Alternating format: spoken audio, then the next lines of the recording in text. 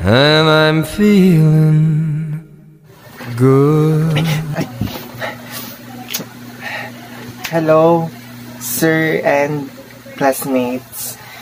My name is John Steve Cercado. I'm 19 years old from Barangay Veterans Village, Iloilo City.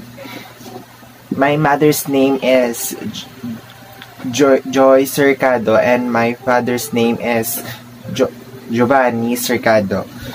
My motto in life is time is gold. That's all. Shh lang kayo. Di pwedeng malaman na anak ako ng isang mafia boss. I'm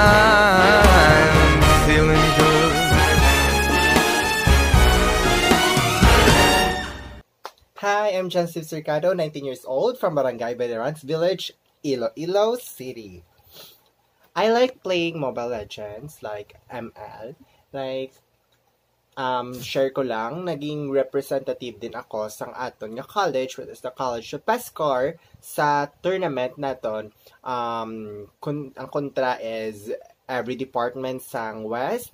And sad to say, we didn't make it even in the top 3 kay do ka budlay gid no? Kay do ka sakit gid sa mga kontra. Pero I'm proud to say that I am one of the representative of our team uh, representing the College of Pescar I like eating and my favorite food is anything basta ginaluto sa balay. Like for example si mama magluto or si lola ma- that's all. I, hope nga makilala niyo ako kilala niyo naman ko ah, 'di ba? Hi Sir Cyril and hi classmate. Kilala niyo naman ako. Um, ako ako man lang ang gwapa sa section namon. Um, pak-